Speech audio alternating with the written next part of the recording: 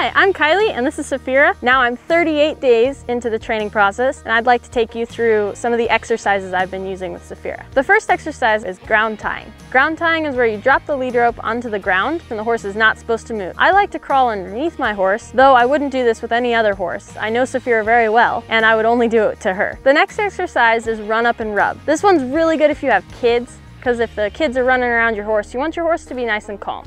You start by holding the leader up in your hand and you run up to your horse and then you rub them so they know they're okay. Slap and walk is another exercise I've been working on with Saphira.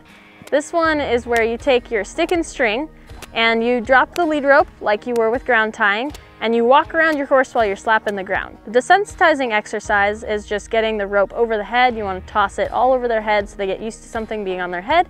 And the giving to pressure is actually putting the rope around their butt and then you want to pull on them so that they follow the rope all the way around.